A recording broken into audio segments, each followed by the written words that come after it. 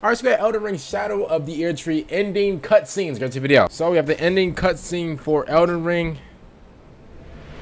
It's time to walk into the light.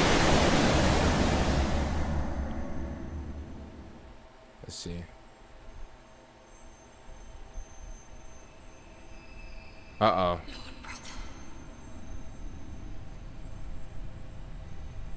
Uh-oh. I'm going to be a god.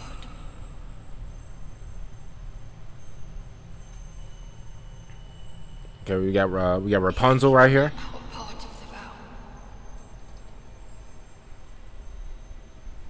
Shout out to Dan Allen Gaming.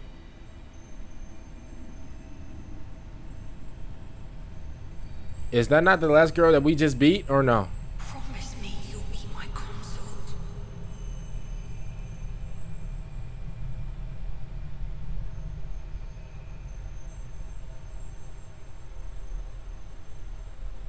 Wait, that's the ending? I'll make the world a gentler place. Hmm. Why that though? I want. I wonder, like, why that? Why that though? Shout out to Dan Allen Gaming, cause like, here's my thing, right?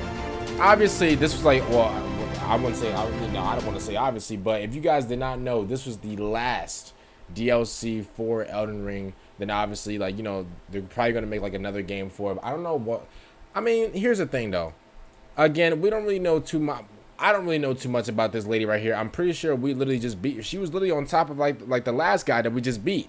Cause you know, to be honest with you, I was expecting like us to just like walk over to a chair like Kratos and then sit down and tilt our head like these and have like this big like just just just dragon or whatever like come through and like just just like sit in front of us as like a cliffhanger to like the next like game or whatever. I was expecting that, but Turns out we got this girl just asking, you know, to be a god or whatever. Man, so comment down below, man. What do you guys think about this video? So guys, I didn't miss them out. Make sure you guys subscribe to the channel and like the video. And peace.